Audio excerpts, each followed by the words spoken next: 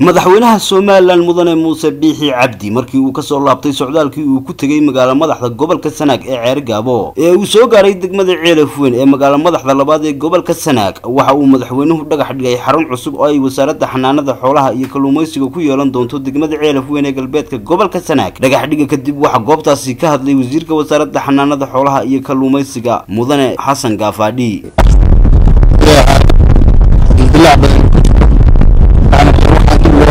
hagaajin karin.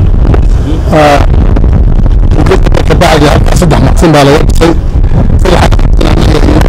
wasaaradda deegaanka ayuu naga dhexeeyaa oo xafiisinoo yahay. Waxaan markaa go'aansanay inaanu halka kale ka dhisno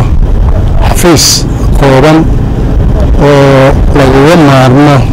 guryaha yaryare laftoodu dayac badan uu ku jiro. Saaka markaa waxaan kugu soo dhaweynayaa xafiiskii wasaaradda xanaanada xoolaha